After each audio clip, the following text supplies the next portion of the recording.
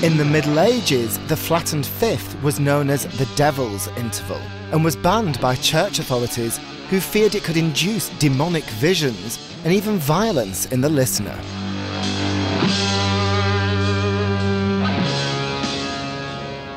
But were those religious authorities right? Can simply rearranging a few notes or a subtle change of tempo produce radically different physical responses? Psychologist Dr. Larry Parsons is looking for answers by seeing if he can measure music's effect on our bodies.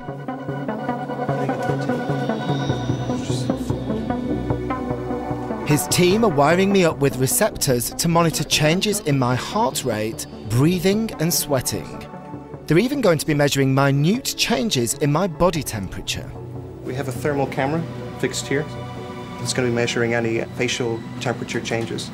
There's been very little face heat map uh, assessments of anybody listening to, to music as far as I know. And so um, you, you're, you know, a pilot pioneering subject. Okay, great.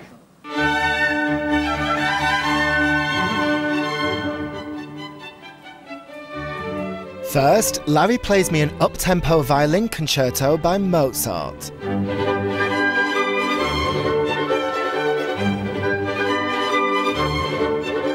It's written in a major key, usually associated with happy music.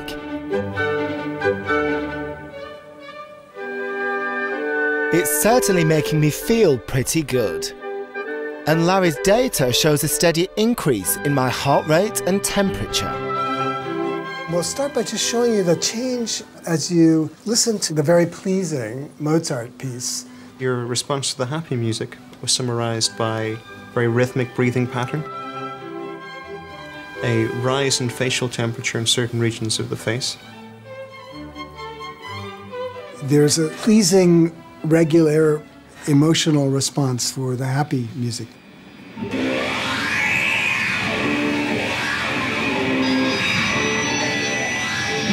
But look what happens when Larry plays me a piece of dissonant Russian thrash metal. Larry, what are you doing to me? It's hideous. Get it off. The thermal imaging camera is picking up a dramatic reaction. This is the transition point where we switch to this very disgusting music. Immediate reaction right away. Your head moves back.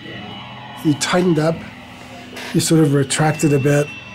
You're having facial muscle responses that change the way that the heat is being reflected here. So my face actually got colder. All the way to the end of the stimulus, it drops by about 0.2 degrees. The thrash metal doesn't just make me colder, it also triggers anxiety, an adrenaline rush, and it plays havoc with my vital signs. At the shift, your breathing rate got much more erratic. And here it got quite erratic as you really responded. You might say it was shocking because your heart skipped a beat. My heart literally skipped a beat. you can see the beat, beat, beat, beat, beat. Whoop. That's a brilliant result.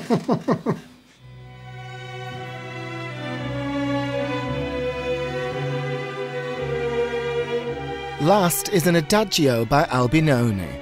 It's written in a minor key, which is often used to express sadness.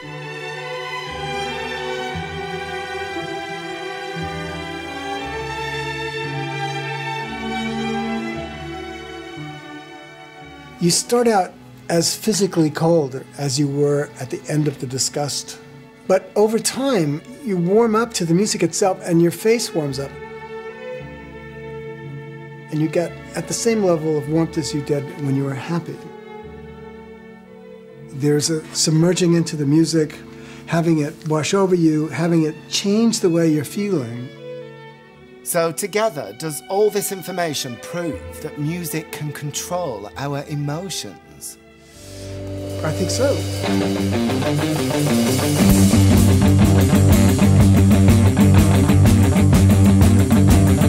As it is.